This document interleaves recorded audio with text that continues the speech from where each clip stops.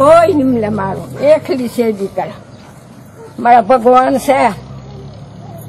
ભગવાનના ધારે રહેલી. ક્યાં જવાની હવે દીકરાઓનું હા?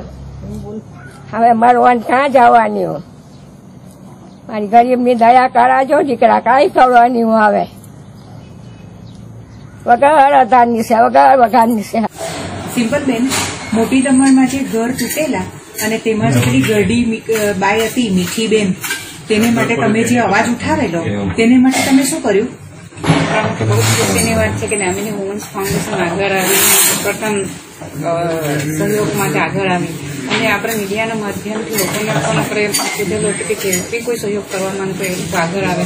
તો એ અવાજને જોઈને ઘણા લોકો આગળ આવી અને એ વ્યક્તિને એમને આવાસ યોજનામાં જે જરૂર હતી એમાં ઘણા લોકો આગળ આવ્યા છે.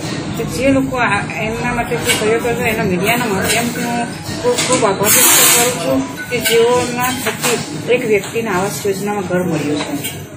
આ પ્રધાનમંત્રી આવાસ યોજનામાં જે ઘર તમે અપાવ્યું મીઠીબેનને, તો એમાઉન્ટ કેટલું ભરવું પડ્યું?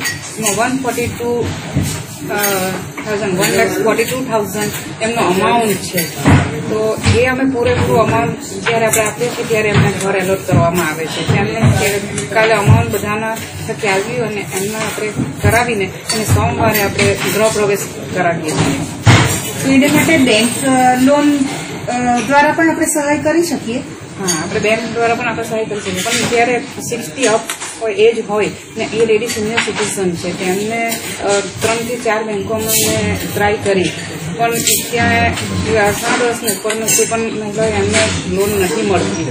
તો હું મીડિયાના માધ્યમથી કહેવા માંગુ છું, એવા એ લેડીની ઘણી લેડીઝો હશે જેને આવી સમસ્યા આવશે.